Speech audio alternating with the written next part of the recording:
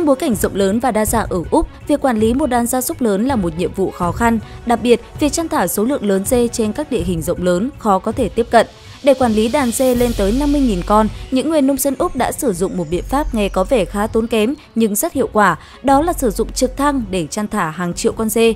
Vậy, phương pháp này được thực hiện như thế nào? Tất cả đều có trong video này. Hãy cùng chúng tôi khám phá ngay bây giờ nhé! Hãy xem nông dân Úc sử dụng trực thăng để chăn thả hàng triệu con dê như thế nào.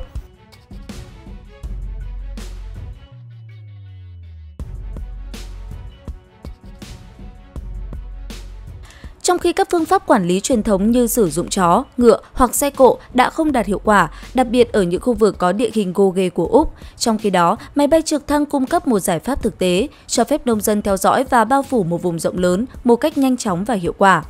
Bước đầu tiên trong quá trình chăn thả dê bằng trực thăng là xác định vị trí của đàn dê. Các phi công sử dụng trực thăng để bay qua những vùng đất rộng lớn, xác định các nhóm dê từ trên không.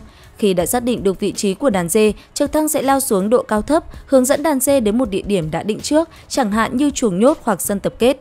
Tiếng ồn và sự hiện diện của trực thăng khuyến khích đàn dê di chuyển theo hướng mong muốn.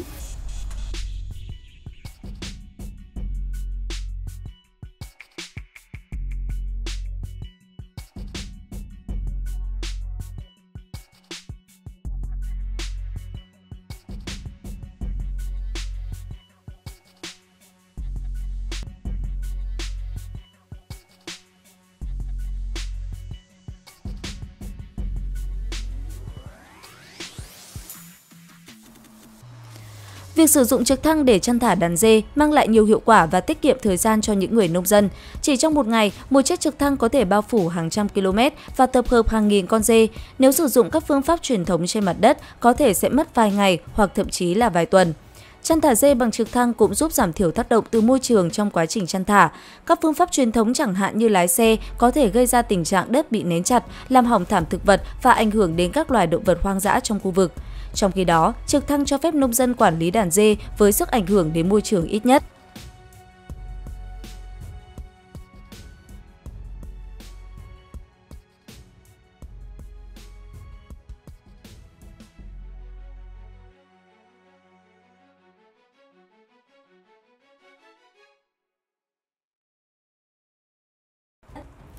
Phương pháp chăn thả hiện đại này cũng được cho là an toàn đối với con người và vật nuôi, dễ ít có khả năng bị căng thẳng hoặc bị thương hơn so với các phương pháp quản lý khác.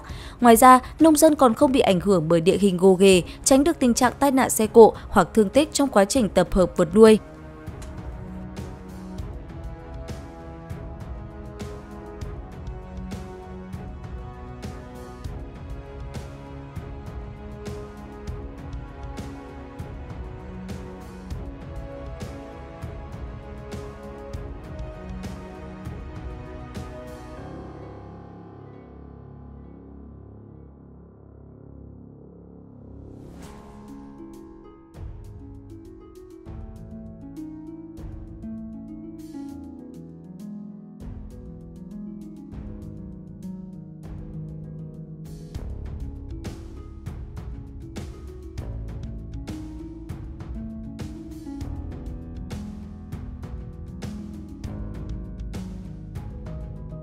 Mặc dù chăn thả dê bằng trực thăng mang lại nhiều lợi ích, nhưng nó cũng kèm theo những thách thức đáng kể. Chi phí vận hành trực thăng là rất lớn và không phải tất cả nông dân đều có đủ khả năng để sử dụng phương pháp này thường xuyên. Vấn đề nhiên liệu, bảo dưỡng và nhu cầu về phi công lành nghề cũng làm tăng thêm chi phí. Điều kiện thời tiết cũng có thể ảnh hưởng đến hiệu quả của việc chăn thả bằng trực thăng. Mặt khác, tiếng ồn từ phương tiện này cũng có thể gây căng thẳng và lo lắng cho các loài động vật khác. Do vậy, để cải thiện, phi công và nông dân cần giữ khoảng cách phù hợp và sử dụng những kỹ thuật để hướng dẫn đàn dê di chuyển nhẹ nhàng thay vì buộc chúng phải di chuyển nhanh.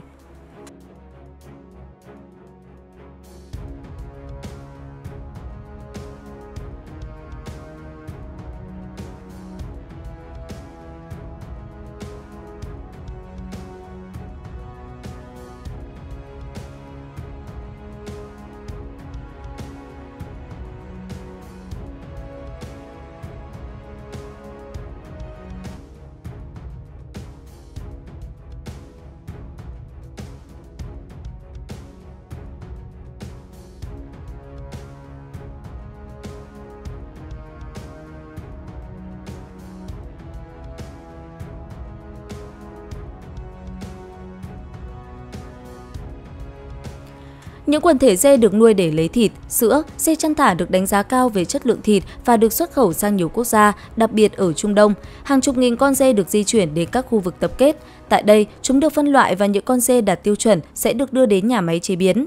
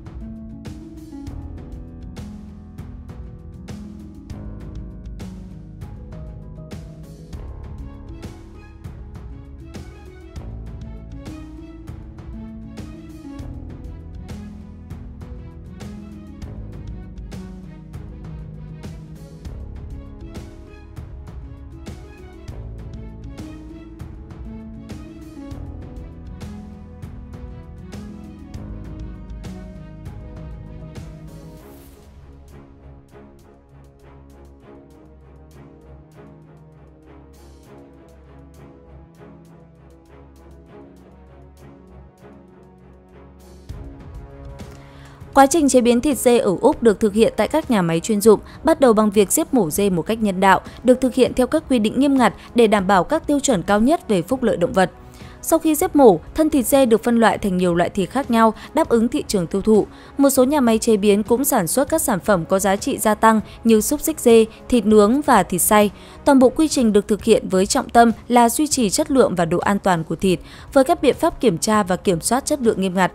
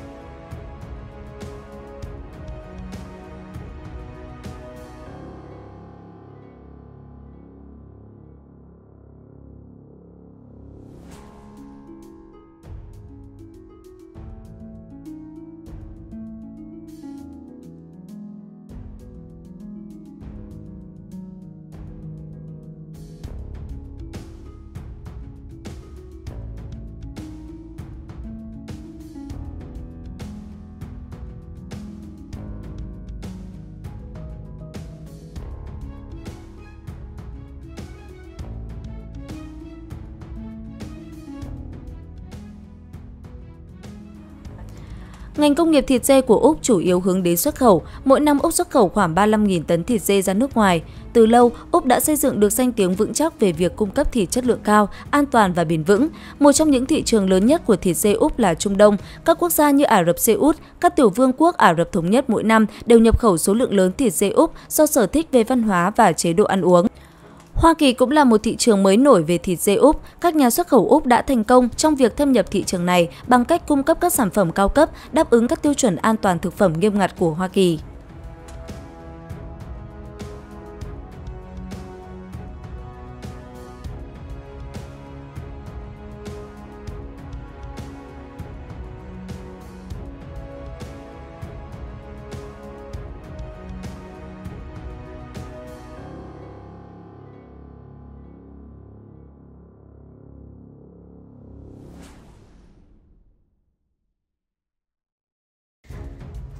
Vào mùa đông hàng năm, những người nông dân ở Bắc Mỹ đều tổ chức các cuộc săn sói bằng súng ở các khu vực rừng núi giáp khu đất nông nghiệp hoặc tại khu vực hoang dã. Đặc biệt vào một số thời điểm, nông dân Mỹ còn sử dụng trực thăng nhằm thanh trừng bầy sói được hiệu quả hơn.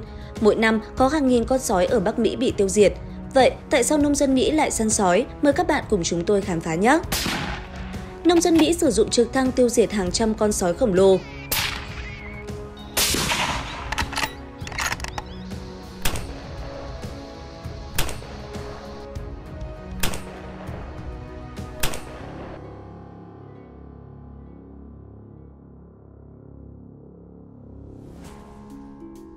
Có lẽ nông dân Mỹ không mấy xa lạ với phương pháp săn lợn rừng bằng trực thăng bởi hơn 9 triệu con lợn rừng được coi là loài xâm lấn số 1 tại Mỹ.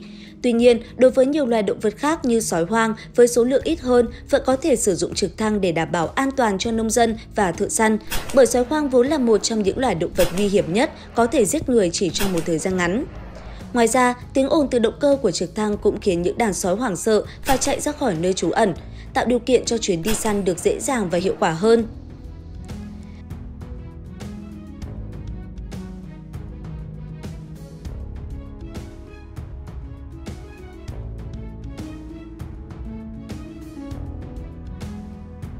Việc sử dụng trực thăng để săn sói ở Mỹ đã được thực hiện từ những năm 1960 khi các đạo luật cho phép săn bắn sói hoang tại Mỹ được ban hành do số lượng của chúng vượt mức kiểm soát và trở thành loài gây hại cho gia súc.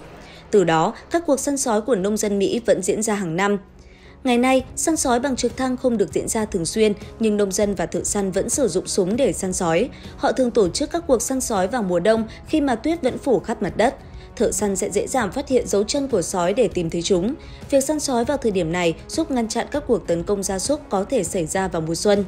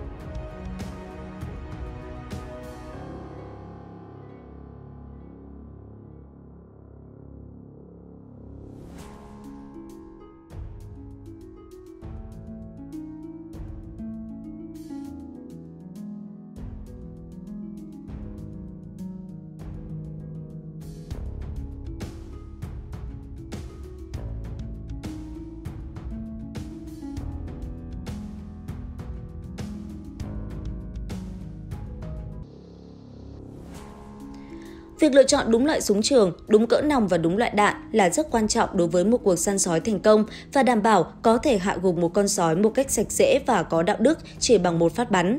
Ở nhiều vùng, nông dân và thợ săn có thể săn được nhiều hơn một con sói. Điều này khiến súng trường bán tự động như AR-15 trở thành lựa chọn tốt vì thợ săn có thể nhanh chóng bắn thêm một phát nữa và hạ gục hai hoặc nhiều con sói. Vậy, tại sao nông dân và thợ săn Mỹ lại được phép săn sói, trong khi đây là loài động vật cần được bảo hộ ở một số khu vực?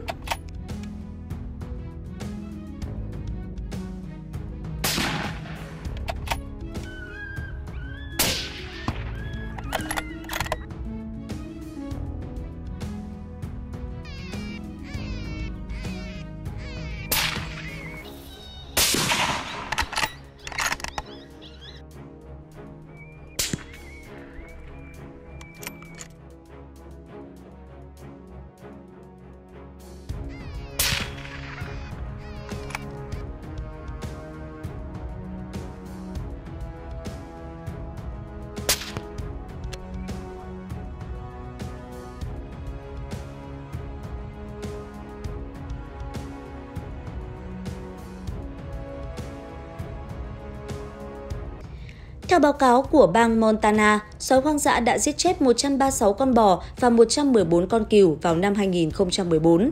Chưa kể số lượng cũng tương tự ở các bang xung quanh, điều này đe dọa đến sự an toàn của con người và vật nuôi trong các trang trại. Từng có các chủ trang trại đã bị thiệt hại cả một đàn cừu do bị bầy sói hoang tấn công. Chúng không bắt một con cừu để ăn thịt mà thay vào đó lại tấn công và cắn chết cả một đàn cừu, gây ra thiệt hại nặng nề về kinh tế cho những người nông dân.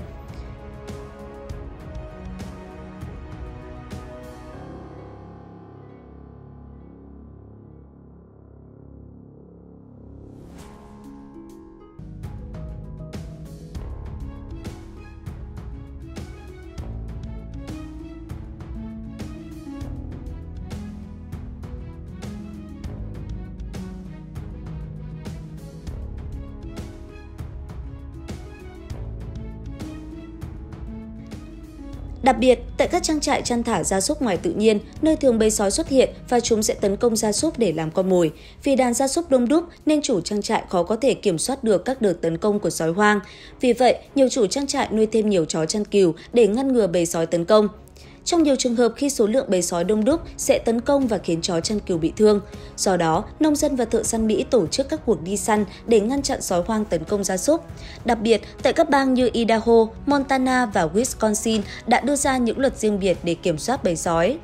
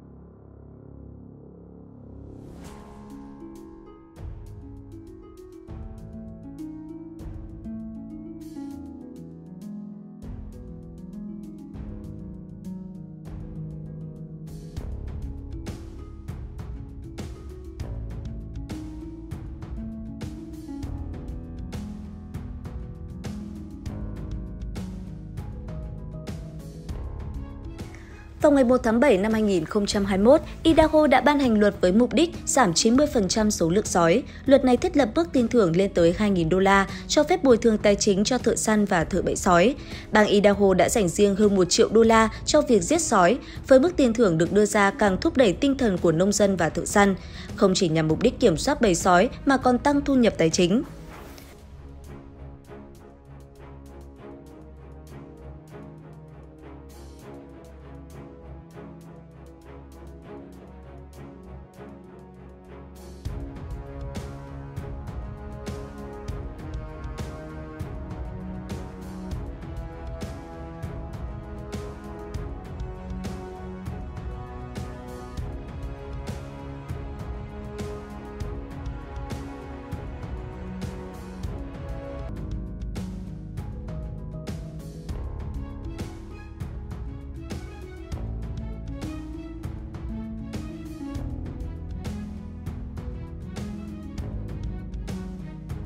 Bầy sói hoang có ngoại hình rất giống với những chú chó cưng mà các bạn thường nuôi.